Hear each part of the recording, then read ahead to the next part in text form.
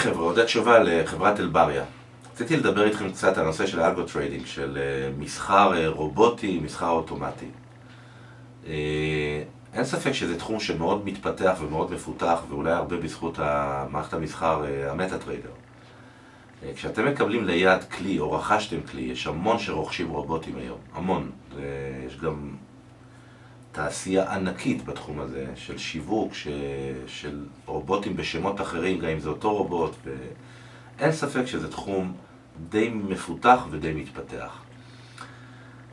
יש דבר אבל שכדאי להבין כשאתם ניגשים לרובוט, ואתם רוצים להתחיל לבדוק אותו ורוצים להתחיל אה, לקבל החלטות אה, כיצד לתפעל אותו.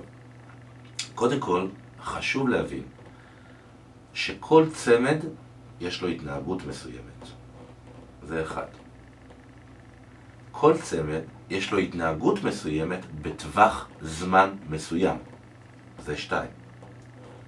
כל צמד יש לו התנהגות מסוימת שמאפיינת אותו בטווח זמן מסוים ובשעות מסוימות. זאת אומרת, יש לנו פה כבר מספר אלמנטים. הצמד, ההתנהגות של הצמד, אוקיי? הנכס, וההתנהגות שלו גם בטווחי זמן מסוימים. לכן צריך להבין שלתת לרובוט לרוץ בצורה חופשית 24 שעות ביממה באותה צורה על כל צמד זה טעות. נכון שיש צמדים שפותחו בצורה ייעודית לצמד מסוים, זה ניחא, את זה עוד אני יכול לקבל. אבל אני לא יכול לקבל שרובוט יעבוד בדיוק באותה צורה על היורו דולר, על הבריטי דולר, על היורו אוזי ועל האוזי זה לא נראה לי. יש יתרונות לעשות את החלוקה הזאת לקטגוריות. לפעמים אפשר לקחת את אותו רובוט אם כמובן יש לכם את הכלים אה, להגדיר, להגדיר לו, וכדאי לבקש את הדרישה הזאת, או לבדוק אם קי, קיימים הנתונים האלה ברובוט עצמו שאתם רוכשים ומפתחים, להגדיר את האפשרות גם של שעות המסחר. יש לכם אפשרות להגדיר לרובוט, תשמע, תפעל רק בין השעות האלה לשעות האלה. לפעמים אתם תמצאו לדוגמה שיש טריידים שיוצאים בצורה נפלאה דווקא בלילה. אבל הבעיה היא, מה קורה בדשדושים? אחת הבעיות באמת שמקבלים איתותים על רובוטים שמבוססים על כלים כאלו או אחרים, שקשה להם להתמודד עם מצב של דשדושים. ויש שעות שהשוק מן הסתם מדשדש או שקט יותר, ואז אנחנו יכולים לקבל איתותי שווא. ולכן כשאנחנו עושים אופטימיזציה לכלי הזה, אנחנו צריכים, דבר ראשון, לוודא על איזה טווח זמן אנחנו בודקים אותו, לראות אם אנחנו מקבלים תוצאות טובות. ואז לנסות לחלק את היממה לסקשנים. יכול להיות שיש לכם רובוט שעובד על צמד מסוים בצורה נפלאה 24 שעות ביממה. זה טוב, שימו אותו, תפעילו אותו. אבל יכול להיות שאותו רובוט, על אותו צמד, על אותו טווח זמן, מספק גם תוצאות מעולות רק בשעות שבין 2 בבוקר ל-6 בבוקר. לדוגמה, אז אפשר להוסיף אותו ככלי נוסף או כ setup נוסף על המערכת שלכם. אבל כשאתם ניגשים לבדוק צריך להבין שכל צמד שונה בהתנהגות שלו. אחד, כל צמד שונה בהתנהגות שלו בטווח זמן מסוים, קרי 15 דקות, 30 דקות, שעתי וכדומה, ושלוש, כל צמד יש לו התנהגות שונה על פי שעות היממה.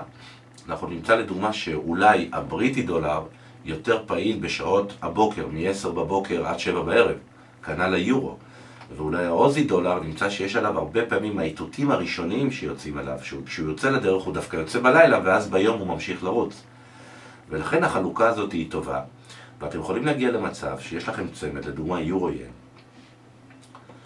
שיש לכם עליו setup לשעות הלילה, ו setup ליום, וגם setup אחד שעובד 24 שעות, ו setup אחד מעולה ב-15 דקות, ו setup אחד מעולה דווקא ב-30 דקות.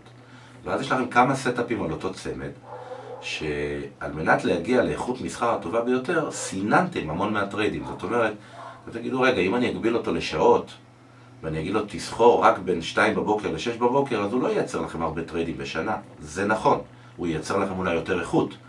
מצד שני, אתם יש לכם עוד חלוקה, לשעות הבוקר, ששם אולי גם יש מעט trade ים, אבל שוב, יותר איכות. ואז יש לכם עוד חלוקה, נאמר, לשעת אחר הצהריים. ואז ביחד, ששלושתם עובדים, בסך הכל על שנה יש לכם כמות trade ים סבירה ביותר, וזה רק על הצמד הזה.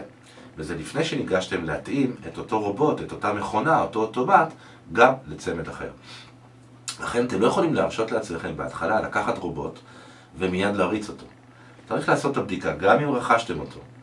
שווה להריץ את הבדיקה, אם מי שמכר לכם את זה, מאפשר לכם את זה, ולנסות לעשות את ההתאמה לש... לשעות, לטווחים ולצמד.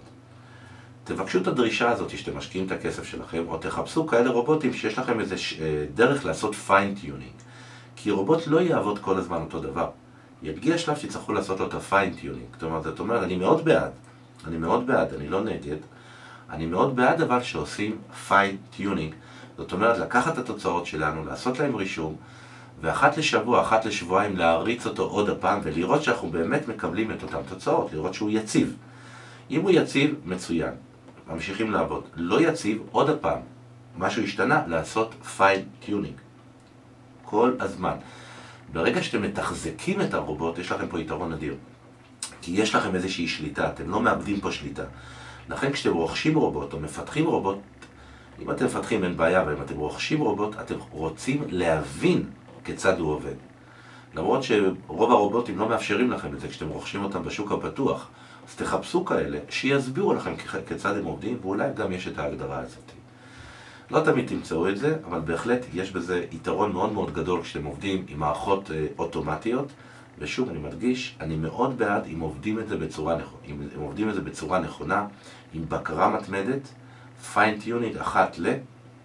ונותנים לו להריץ. ועדיין תמיד אפשר כמובן לשלב גם מסחר ידני. לא לסמוך על מערכת שמייצרת לכם כסף. עוד לא הגענו לזה בעולם, אבל יש בהחלט מערכות שעובדות לא רע, סטטיסטית, עובדות לא רע בכלל, אה, לאורך זמן, למי שיש סבלנות ויודע גם להתמודד עם, אה, עם הפסדים.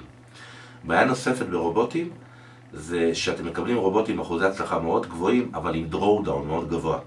אתם יכולים, הם מראים לכם הרבה רווחים של 20 פיפסים פה, 30 פיפסים פה, אבל היו בהפסדים מאוד גדולים בתהליך הזה, ובסוף עברו להפסד.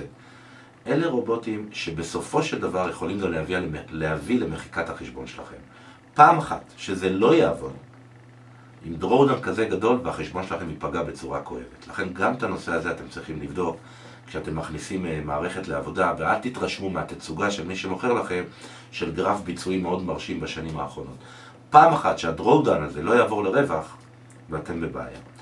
זהו, זה מעט בנושא של algo trading, בנושא של רובוטים. שוב, אני בהחלט בעד אם יש לכם דרך לשלוט מעט על הרובוט הזה ולהבין אותו ולהתחיל לקטלג אותו לצמדים, לשעות ולטווחי זמן. שיהיה לכם בהצלחה חבר'ה. ביי ביי.